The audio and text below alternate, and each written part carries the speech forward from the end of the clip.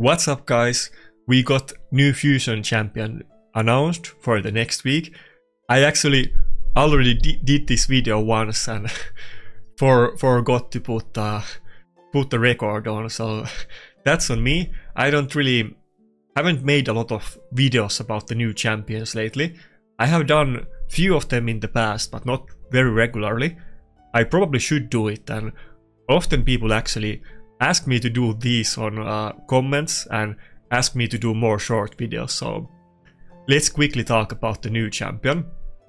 I'm gonna read the description that Plarium gave about him. They often give very comical descriptions and I disagree with them, but on this champion I think it's very um, very accurate and um, poignant description.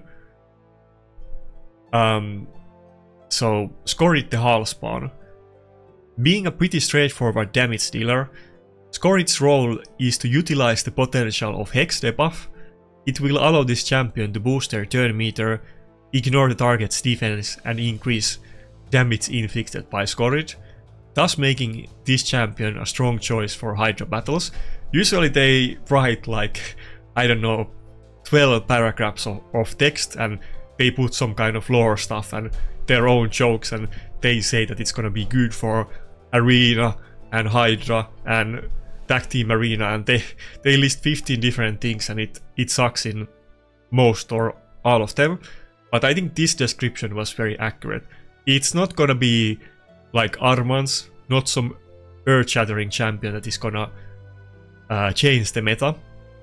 But I think it will be a champion that you don't want to skip. A solid uh, fusion champion for Hydra, probably in one of your auto teams that most people are gonna use. I'm not sure yet if it's gonna be something that the top accounts are gonna use. Probably not, but maybe. If he has high multipliers, maybe, but probably not. I mean, they're gonna run like double Yumeko and Trunda, and there's not really a room for this champion, but I think for like basically everybody watching this video, probably you are gonna put him in one of your teams.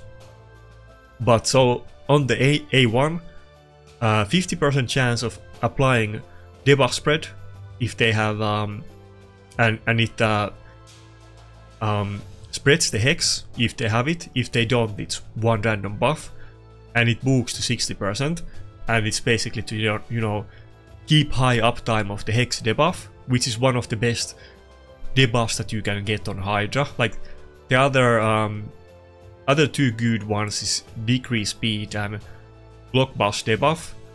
You might not really need block bust debuff on every team comp. You might have burns or you might kill the head so fast that you don't need it, but Hex is basically the best one for damage and decrease speed is super good for lapping the boss, so you can basically beat this champion in any type of Hydra team that you might do, especially since he doesn't just do Hex, but he's also a damage dealer for the team.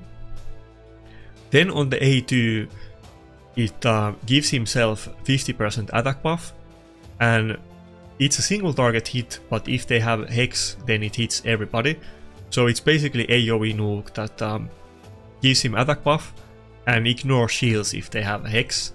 And maybe that can be useful sometimes when... Um, I don't remember what's the name of the head. When one of the heads put, puts a shield and maybe, you know, it can be annoying if they swallow one of your champions and then they get the massive shield.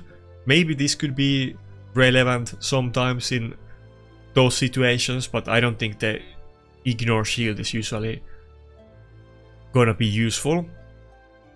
Then on the A3, attacks all enemies and before attacking puts a hex debuff on them and then he gets 20% increased damage for each hex debuff that he placed and heals himself by 20% for each of the debuffs that were resisted. And it walks down the 3 turn cooldown so it's not super long. And obviously for this skill it will be super vital to actually especially this skill to know the multipliers because if you can get like 40% 80% uh, damage increase from the effect uh, increase from the effect and then you can get 15% ignore defense from the passive if the multiplier is high, this skill might actually be bonkers, but we will see how bonkers it is. Usually when we have this type of skills, the multipliers are not that high, but it um, remains to be seen.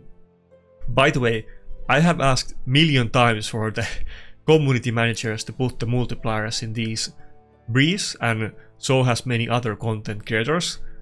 I don't know why they don't want to give us that information, but for some reason they are keen on hiding it. But maybe they will change their mind about it later, because back in the day, maybe some people remember, but they didn't used to show the books in the description of the champion kits either. And people always had to set, speculate that can you book the skill to 100% with debuffs or not, and we wouldn't know until the champion was actually released. And then after a long time, I think it was maybe like two years in the game, or it wasn't at the start, then finally they changed it after content creators asked it trillion times. Maybe they will do that with the multipliers too.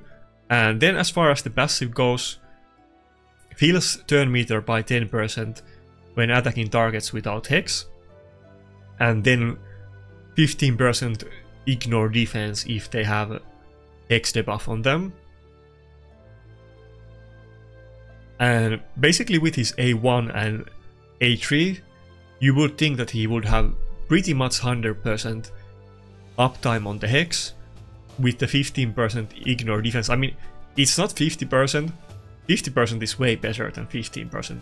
Just saying, it's it sounds OP almost, but it's way way worse than Wukong or Siegfried or Protoss and so on.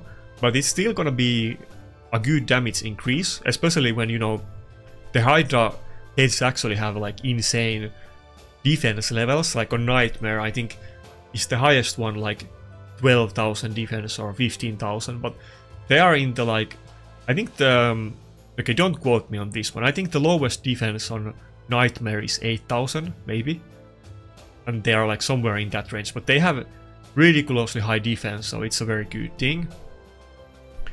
And when you calculate the ignore defense with um, um, with the 80% increased damage on the A3 from the effect, it might potentially hit super hard if if he has good multipliers, but it remains to be seen.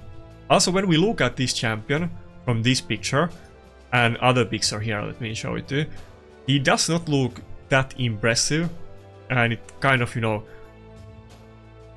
in the video I made before this that I failed to record, I was saying that he doesn't look legendary champion, but I guess this is like art where he misses the particle effects and so on.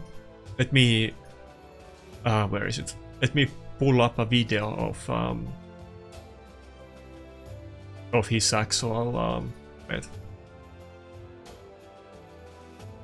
I guess I should have had it ready. Okay, there you go. Here's how he looks in practice with his animation. So, pretty cool looking champion. Nothing bad to say about there. I mean, it's not the best looking champion in the game. Raid has plenty of good looking champions. Not that I care about it really, but um, yeah. Anyway, I think it's kind of mid-tier fusion. Nothing game-breaking, but probably something that you don't want to skip, unless there's something that I'm missing. If I if I totally missed out something that um, is very big deal, then let me know in the comments, but I think it's probably probably the way that um, I'm thinking about it. Anyway, that's that's what I that's all I have to say. I need to hurry up because I need to go go to stream, but I wanted to make this video when, you know, Plarium gives us the information about the champion, and then you have like two hours before you're allowed to publish it or something like that, and they expect us to like make the videos at the right time, so let me get this done quickly before I stream and and then I can publish it during it. But that's it for this video. Have a nice day and see ya.